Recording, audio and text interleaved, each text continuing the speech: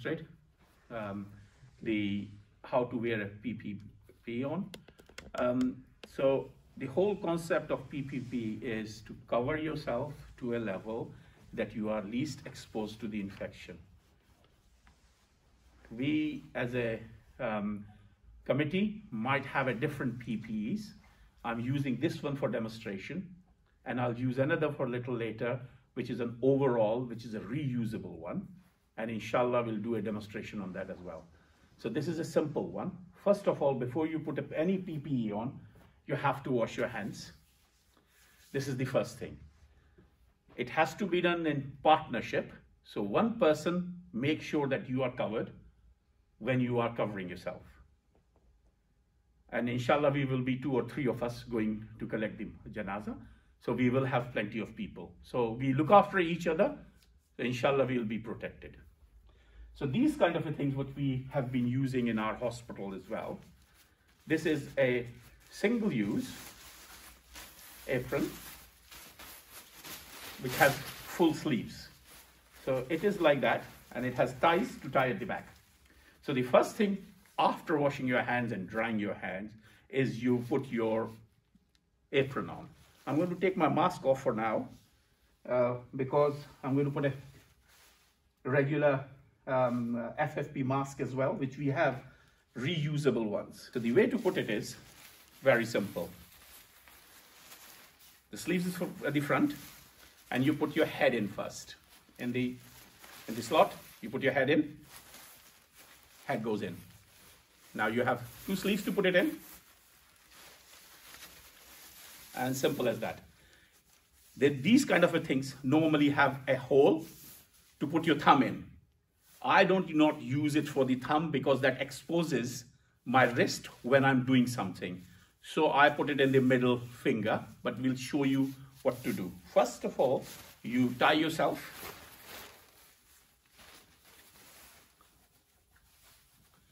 So you tie yourself at the back, making sure that your front is totally covered because this is where the risk is. Hopefully, inshallah, the risk is not at the back. Can you ask someone else also to tie if needed? Yeah, you can. I mean, do not ask anybody else to gloves. So this is the stage where we put first pair of pair of gloves. So the first pair of gloves goes. And after putting first pair of gloves, so they are relatively clean gloves when you are finishing off at the end. And then you put your th hole through the middle finger. Right? Like this. And you hole through the middle finger again. So you, can you see it all covering right up to my wrist?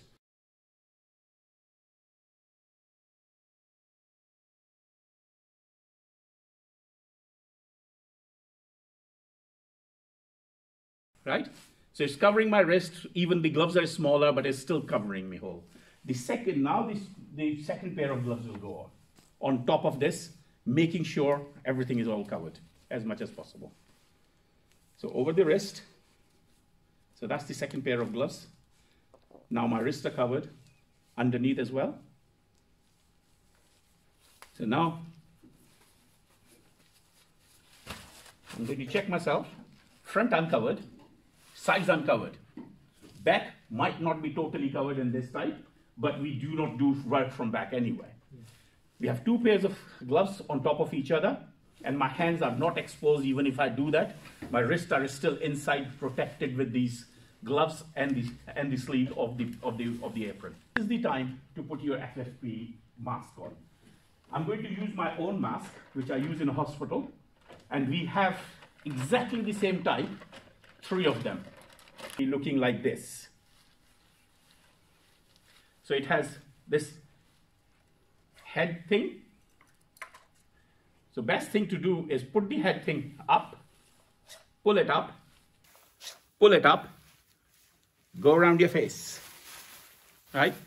Now what you need to do is, at this stage, Try not to hold the front of the filter this here. Hold from the side of the filter, put it on your nose, and head here. Right? Now adjust it. Now you're looking like this.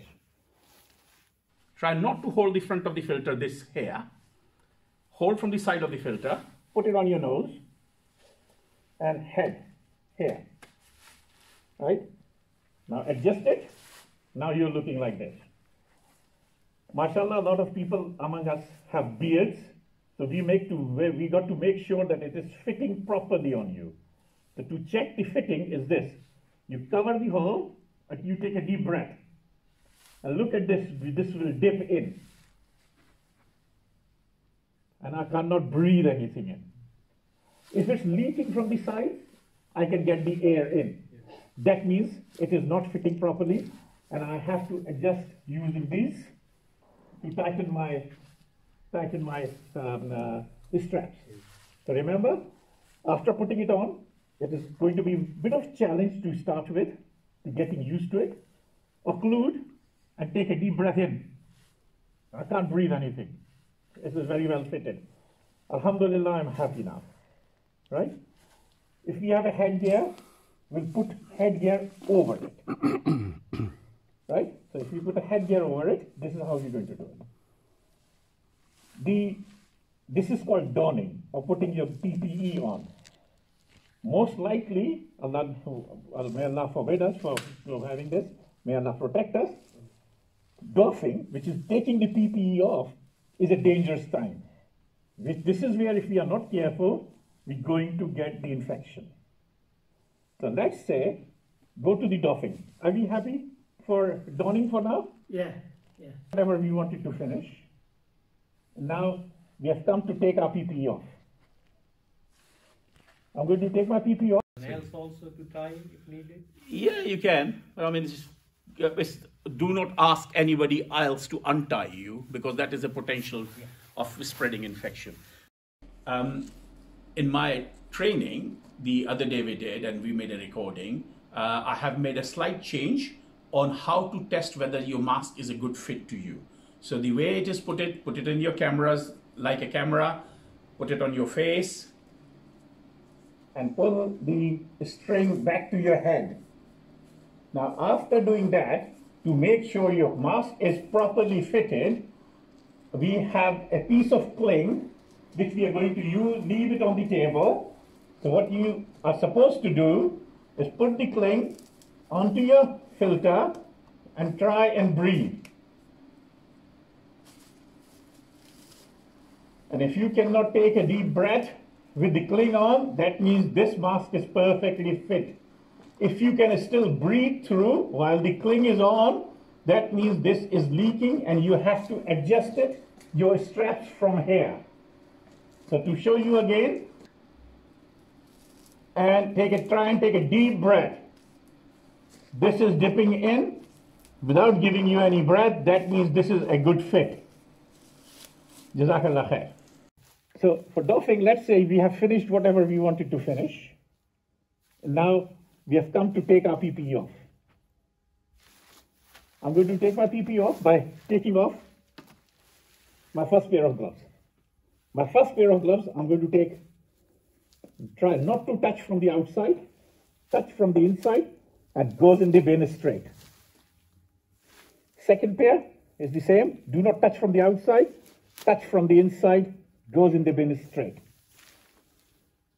Right? Now, I'm going to put a hand gel because obviously there will be some leakage into your relatively clean gloves. Use your hand gel, make it cleaner. And this is the point. You have this glove, not totally clean, relatively clean, right? And this is the stage you take your headgear off, goes in the bin. Or if we have a reusable, we'll tell you what to do. We might have some reusable, we have some reusable, and we'll tell you what to do with them, right? Then this mask is the last thing to come off. Now what I'm going to do, I'm, for the sake of this, I'm not going to break the pinny, but I should not be touching the front of it. When I'm taking it off, the best thing is to go back and break this, right? Because we need it for practice. I'm not going to break it. I'm going to undo it. But normally you should not be undoing it. And do not touch the front of the pinny. Again, it will be dirty. Right? Now, you go inside. Don't touch from outside. Inside. And you're going to take the sleeves off.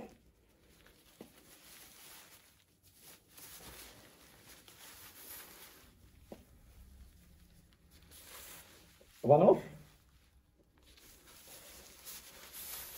Two off. Now I'm going to go inside again at the back. Inside again at the back. You were meant to break it, yes? And that goes in the bin. Yes. Straight away. You were meant to break it the back. Yeah, yeah, yeah. You were meant to break it. We are not breaking it Yeah, because- obviously we're going to use it for practice. So you break it and you take it off. Right? Now I have gloves and I have a mask. At this stage, again, I'm going to touch from inside. Second pair of gloves goes in the bin. I go and wash my hands. Remember, 20 second is a minimum, not the maximum. Thoroughly wash your hands. First wet your hand. Lots of soap on it. Rubbing all over, rubbing thumbs, rubbing thumbs, going between the fingers, going between the fingers, tip of the fingers, both sides, tip of the finger. Keep rubbing, keep rubbing, go up to your wrist, keep rubbing until really minimum 20 seconds. I wouldn't mind you do 30 seconds instead of 15 seconds. Right, now you wash your hands. Dry your hands with a paper towel, and you put the third pair of gloves.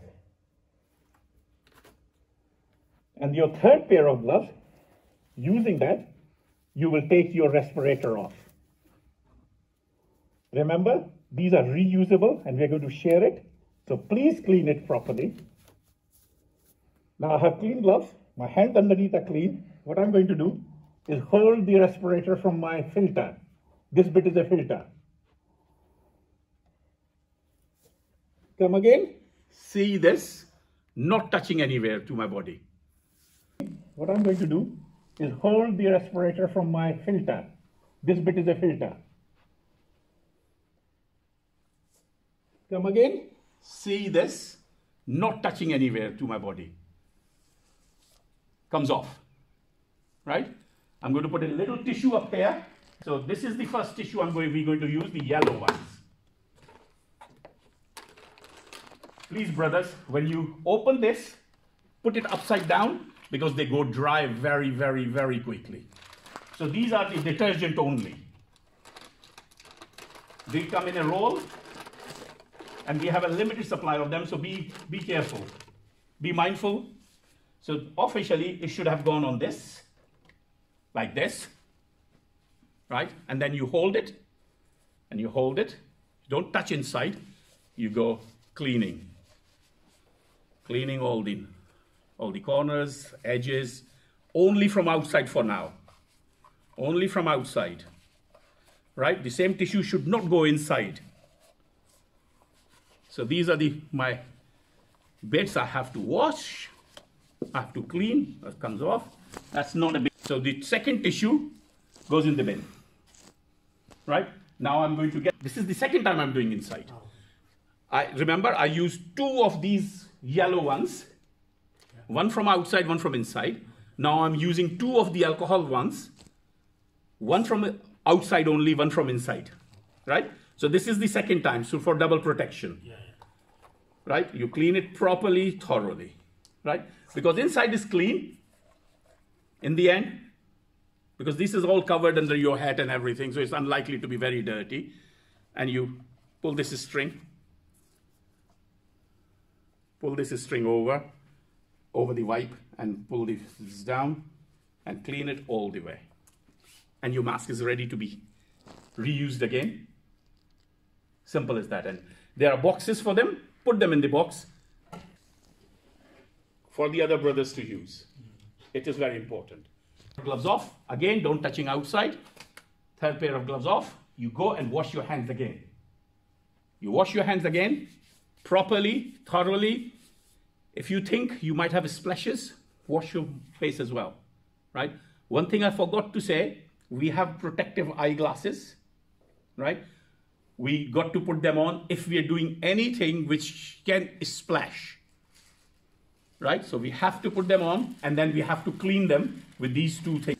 It can go over the glasses. We have a couple of sizes if you want to use the different sizes. And this comes before the respirator.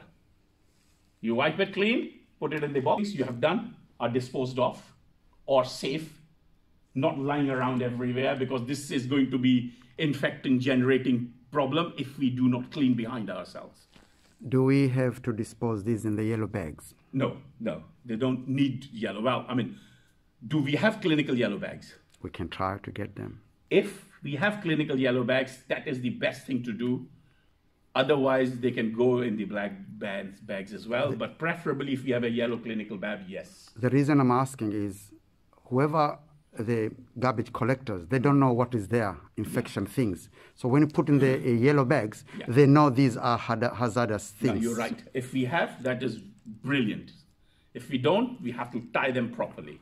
I would advise to get some kind of a, you know, the um, uh, get the cable ties that goes over, Plastic, uh, right? One thing I forgot to say, we have protective eyeglasses, right? We got to put them on if we are doing anything which can splash, right? So we have to put them on and then we have to clean them with these two things again, right? These protective glasses are, are like that. It goes over, even if you have glasses, they can go over your glasses. This is the worksman, what the worksmen use. It can go over the glasses. We have a couple of sizes if you want to use the different sizes. And this comes before the respirator. You wipe it clean, put it in the box, in the same box, that one, and then your respirator, clean respirator, and do this. Once you have done all this, now you are free, inshallah, to go. But make sure all the things you have done are disposed of or safe, not lying around everywhere because this is going to be infecting, generating problem if we do not clean behind ourselves. We have to be very, very, very, very careful. Any questions? Do After that, what our document says and what we should be doing before going home, just in case, if we are still carrying an infection or potential infection, Alhamdulillah, in this masjid, there's a shower facilities. Bring an ex- extra pair of clothes with you before you go home. Do a shower in the masjid, change of clothes, put your clothes in a, in a, in a shopping bag or something, and straight away when you reach home, put them in the washing machine and wash them at a higher temperature you all you need to do is put them in the higher temperature it can go in the other load as well so it doesn't need to be a separate washing machine and washing separately? No. As long as you put at 60 degrees or plus inshallah it will be fine. Okay jazakallah khair. And inshallah we'll demonstrate the other one. So inshallah after putting our ppe on the two pair of gloves the full body cover respirator, eye cover, and a hat. Then, inshallah, we'll go to collect the body. When we go and collect the body, mortuary, three of us will go, inshallah, and the guy from the mortuary will help us. If it's a COVID body, we're going to put it in the, whether it's a COVID body or not, we're going to put it in the coffin, in the wooden coffin, straight away. If it's a COVID body or a suspected COVID body, which we are not going to do ghusl for, we're going to use this electric screwdriver Behind. and seal the seal the all of the body around. And we'll use the the sealant um, Silicone. silicone to seal the um, uh, edges of the of the coffin. So no infection can come out and we are protected. Then we will before leaving the before leaving the um, mortuary outside the hearse what we're going to do is spray one portion of thick bleach and two portions of water already diluted in there and spray all over the coff the wooden coffin then only we'll load the coffin into the private ambulance or hearse whichever is available we'll take the body straight to the graveyard. So we have to time it well. There might be occasions where you won't be able to. We'll get to that. But we'll inshallah take the body straight to the graveyard. The team leader will be the imam or one of the team member will be the imam of the Salatul Janaza. Only family members, which should not be isolating, should come to Salatul Janaza. And I think if I remember correctly, there are only 10 people allowed Maximum. maximum. So, and social distancing has to be maintained even in Salatul Janaza. So when we do normally our Salat, we do not leave spaces between them to shaitan to come in. But these are special times, these are special requirements. So we inshallah keep the distance and we perform the Salatul Janaza. Normally we do not do Salatul Janaza in the graveyard. But these are again special times. We have to do Salatul Janaza in the graveyard. Inshallah, Allah will forgive us and Allah will accept our whatever we are doing. We'll take body straight to the grave. It'll be six people needed. So we'll use some of these uh, guys from the council. Um, thank you, Dr. Omar. Um, from um, the uh, mortuary straight, we go to the graveyard. We have the two stands. We'll keep the two stands, and the uh, uh, coffin, uh, the casket will be kept there. So Salatul Janazah is done with two meters apart. One of uh, the team leader, uh, Al Widad, myself, Tawfiq, all, all those who have been the imam for each masjid will do the Salatul Janazah. After that, the council will provide every time three ropes. So the ropes will be tied with a with a janazah to lower the coffin down. We lower them down. Instructions are given. Each team leader will explain to them how they do it. Lower down the, the coffin immediately and leave the ropes inside. You don't take the ropes outside because they'll be They're disposable. disposable. They're disposable. After that, we're allowed to take a little bit of sand and put it there and immediately to uh, let the grader do the, the job. And then after that, the family can do it. I want to emphasize one thing though. The family members, they come without gloves, without masks. They should be told to come there with, before they come, they have to have this. They have to come before time also because the slots are so, so, uh, of uh, janazah are so tight. So they should not be able to just go at their own time, inshallah. Within, after that, immediately disperse. We don't need to stay there. Or after the janazah, everybody goes back. I think I have um, explained everything. Yeah, yeah. Yeah. Okay. Awali. So and then after that, uh, doctor, we will have to disinfect the house again yeah. Because we have to disinfect the house because you have uh, carried uh, the janazah and everything, and then you will go and wash yourselves. The doctor So, will explain to you at- after as I said, the putting of PPE and taking the PPE will only happen in the hub, in the masjid here. I know it's going to be tight. I know weather might be hot and you might be not very comfortable, but this is in your safety. Do not take anything off anywhere else. You have nowhere to clean them, you have nowhere to secure them, and you are exposing yourself to the infection. Right?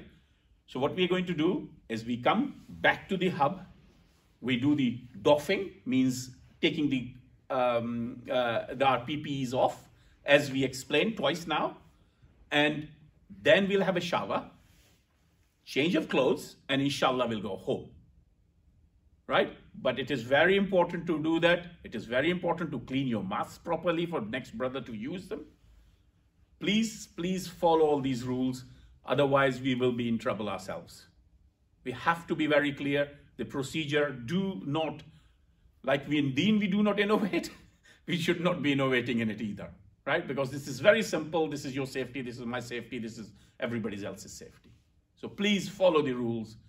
They are done after consultation with other people and, and the other masajid in, in the areas where there's more and more COVID burials are happening, like Leicester and Birmingham. So, Jazakallah khair. This is, this is what we're going to do, inshallah. And may Allah protect us. Um, what we need to do a little bit more with the body, which is a already because it might be a nine o'clock slot or eight o'clock slot in the in the um, in the graveyard. Then we might have to collect the body a night before. Right? If we have to collect the body an hour or night before, then inshallah we'll use the Jama Masjid's central mosque refrigerator to keep the body in that- overnight. Is that the non, non-COVID one, is that right? No, it could be COVID, COVID or non-COVID, both. It's sealed already, so. They're already sealed, right? So the risk is low. So once the coffin is sealed, then we do not need the respirators. We do not need the full sleeve spinnies. We need a, a apron, which mortuary is going to inshallah provide two of us, um, and double gloves. So still double gloves, surgical face mask, surgical face mask like this, the body cover, which is sleeveless, and two pair of gloves. Just in case if we rip one pair of glove, right? And we'll take them. But this is only either for the known COVID, which is going to be less and less, or when we have already sealed the body a day before or, or hours before. When we collect the body, we still be in the full PPE, and we have to be very careful.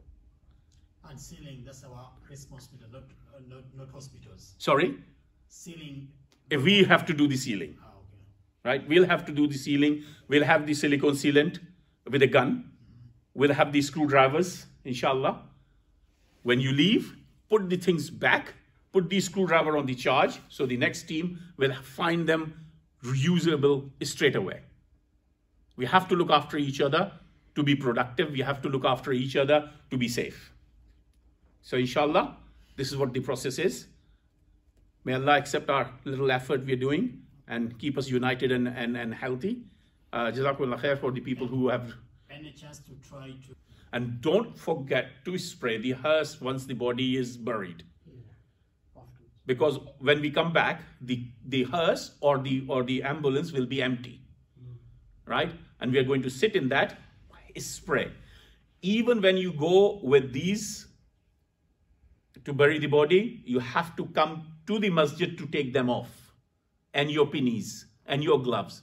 Do not try and do in the graveyard or somewhere else, because there is no secure way of disposing these potential infected um, gear we are using.